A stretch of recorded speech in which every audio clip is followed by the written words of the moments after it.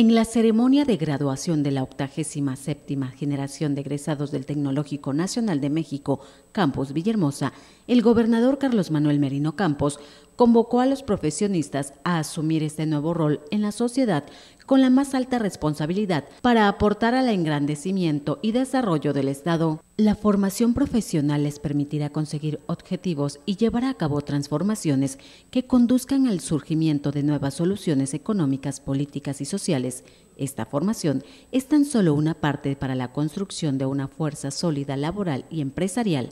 aseguró al regresar una vez más a lo que es su alma mater, en compañía de Ángel Francisco Velasco Muñoz, director del Instituto Tecnológico, destacó que Tabasco vive momentos de auge y abundancia y estamos motivados por el impulso que nos da el presidente Andrés Manuel López Obrador con mayor apertura, labor y atracción de inversiones. Este es el momento justo para que ustedes como nuevos profesionales conquisten con sus conocimientos e innovación espacios laborales y de emprendimiento que les permitan desarrollar con integridad su talento, experiencia y vocación de servicio, subrayó Merino Campos en la ceremonia. El mandatario estatal puntualizó que esta revolución pacífica denominada Cuarta Transformación de la Vida Pública de México necesita del esfuerzo, solidaridad y compromiso de todos, y ustedes son pieza fundamental porque ya tienen las herramientas, ya adquirieron el conocimiento necesario y ahora deben ir con todo a cumplir las tareas sociales pues tienen lo más valioso que les dieron sus padres y les tramitaron sus maestros,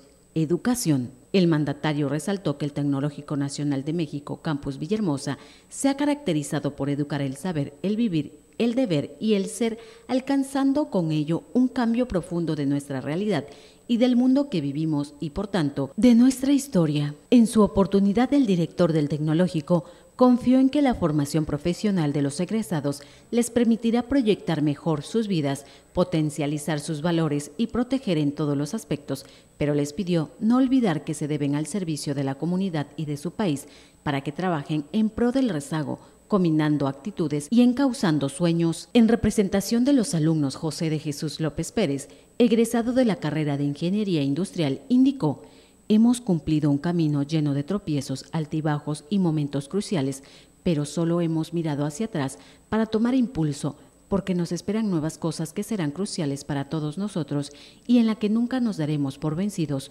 finalizó Noticias TVT.